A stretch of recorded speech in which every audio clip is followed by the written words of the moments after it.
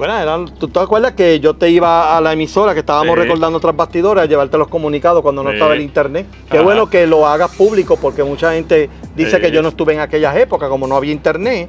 Pues no me creen, no me creen, pero qué bueno que tengo aquí un, un periodista de años que me conoce. Ajá. Pues este, eran los sábados, últimos sábados de cada mes, desde las 6 de la tarde.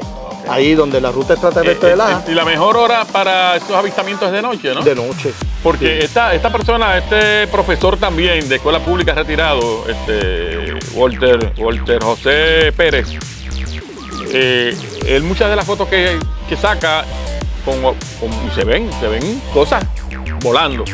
Él la saca atardeciendo con la, con la, con lo que queda la aurora, lo que queda de eh, eh, eh, el crepúsculo de la tarde. Qué bueno. Él saca esa foto desde algún sitio almácigo, no sé si es donde él vive o él se va a un lugar. Y, a- y cuando terminemos la entrevista te voy a enseñar las fotos que él ha publicado en Facebook, que tiene un- un- una gran cantidad de fotos, que él le, le tiene un nombre, no, no recuerdo ahora, pero él, él llama Obot. Eh, y tú entiendes que de noche, eh, ya atardeciendo, oscureciendo o altas horas de la madrugada es la menor- mejor forma de, de poder tener una, una experiencia de avistamiento, ¿no? Lo que pasa es que mientras más silencioso el lugar, más apartado, rodeado de personas que de verdad tengan una mente positiva, porque si la mayor parte de la gente que va allí va o por curiosidad o por simplemente verlo o por el noveleo O hasta inclusive para burlarte, o para, para burla. de- o eso sea. es lo más que se da. Ajá. Sí, porque mis actividades eran públicas y eran abiertas al pueblo.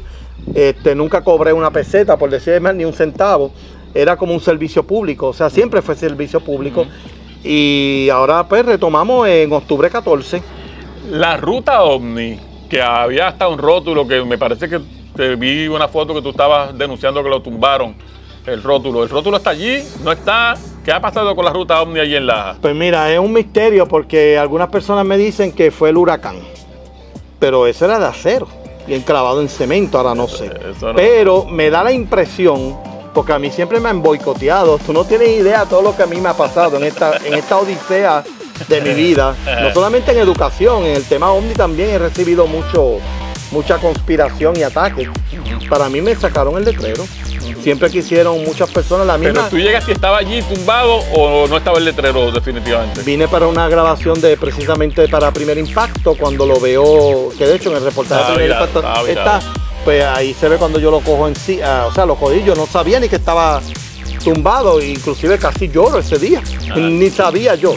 Este, mira, la misma comunidad que yo le di la oportunidad en aquel entonces fueron el peor cuchillo de mi garganta. ¿Verdad? Yo allí le permití hablar a todo el mundo. Aquí en Puerto Rico, el único que hizo algo a nivel de este tema para todos, para beneficiar a todos y darle foro a todos, se llama Reinaldo Ríos. Todos los demás hacen su parcela aparte y pues solamente ellos son los expertos, ellos hablan y ya. Es que volvemos- Yo no critico a nadie. Volvemos a lo mismo. Siempre está el que.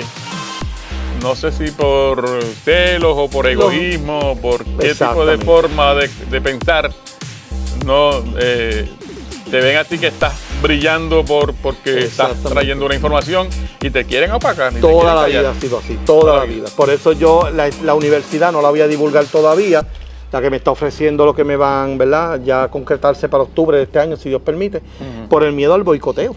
Cuando vas- ya yo tenga seguro todo con, con contrato, entonces sabrán. Entonces, este, ¿qué vas a dar? Eh, charlas, talleres. Eh, Bueno, si lo que se me está ofreciendo, que llega próximamente en contrato en estos días, según me aseguran, no solamente es que voy a dar cursos, o sea, talleres, sino que se va a incorporar al currículo como una electiva, sino que también hay la posibilidad de que me quede. Me están pidiendo que eh, voy a tener mi propia oficina, voy a tener mi propio apartamento dentro de la institución, voy a tener carro. Y hay un terreno donde se va a ampliar la- el tema de los nicuerpos. Ya me lo aseguraron. O sea que eso va a ser un palo. O sea, y eso me da la oportunidad, mira, de enfrentarme a otros foros donde aquí en Puerto Rico el loco que no puede dar clases porque no sabe nada, ahora está otros foros internacionales de muchas más categorías, no menosprecio los de Puerto Rico, pero vamos a demostrar si en verdad yo estaba loco o no estaba loco.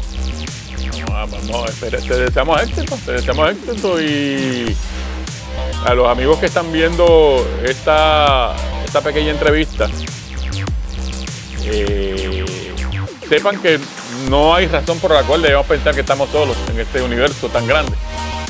Esta, esta es mi forma de pensar, no, porque este, eh, ahí estamos siendo egoístas también, porque ah, estamos solos aquí, que no existe más nadie, no necesariamente. Nosotros somos los que venimos después. Deja que todo se descubra. nosotros estamos de arribado, como dice. Llegamos a esta casa. No, y nos creemos los cheches, los eh, duros, pero eso. como nos dieron pon y queremos guiar. No, y nos creemos los cheches, los duros, pero, a nivel de clasificación, bendito, estamos a nivel troglodita. Ustedes me disculpan en tecnología, conocimiento, medicina. Estos seres ni se enferman. Para que sepan. Gracias, gracias Reinaldo. Gracias como siempre. Gracias por la oportunidad. Ya, ya hablaremos en una próxima ocasión, ya cuando esté este, ocupándola y haciendo los trabajos esos que tienes en, agenda. Es correcto. Para, seguir estudiando esto. Así será. Y veremos a ver eh, quién quita que en un futuro no muy lejano este, te estemos entrevistando allá en los United States. wow, tremendo. Hablando sobre este tema. No, y desde la misma universidad, imagínate. Por eso, por eso, de la misma universidad. Gracias, Reinaldo. Y a ustedes, amigos, eh, lo dijo Junior Muñiz, continúa. Estén, eh, sigan pasando la chévere. Estamos desde el hermoso Parque Urbano de Yauco.